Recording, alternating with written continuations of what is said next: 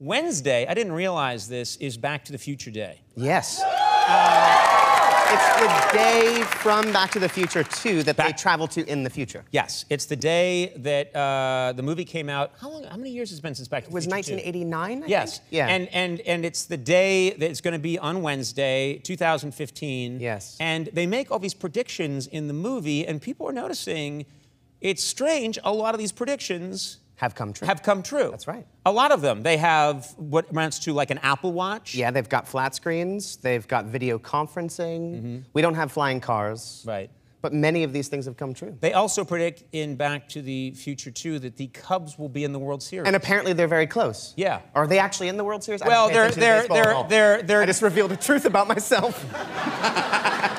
I really don't pay attention. You It's don't care? amazing to I me really they let care. baby bears play baseball. First, of all. I don't know why. Not far off.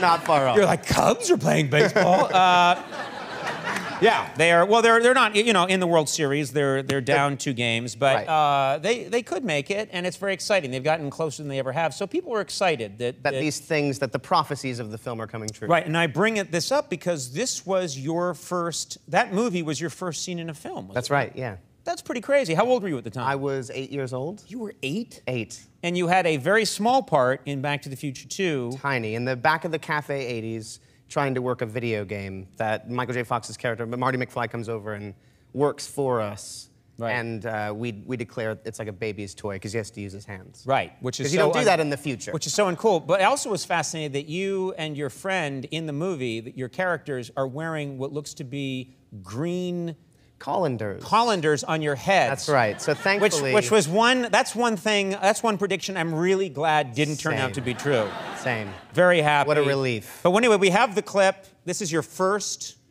uh, appearance ever in a motion In a, picture. in a film, yeah. And Wow. a hell of a thing to appear in. Back Yeah. to the Future 2. It's incredible. yeah, incredible. you you hit the jackpot. Let's take a look. All right. I'll show you, kid. I'm a crack shot at this.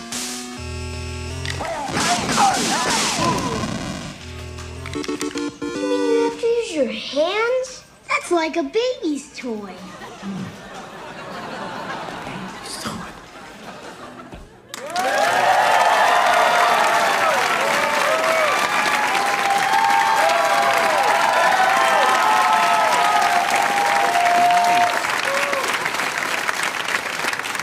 This bit. I have no idea why this didn't catch on. This I is know. fantastic. Aren't they great?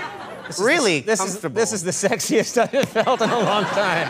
I- oh yeah, there's the wise guy. Boy style. You better not walk into our neighborhood, see? We're the Colander kids. Hey, thanks for watching. Please subscribe to my YouTube channel so they will stop making me shoot these videos. Please.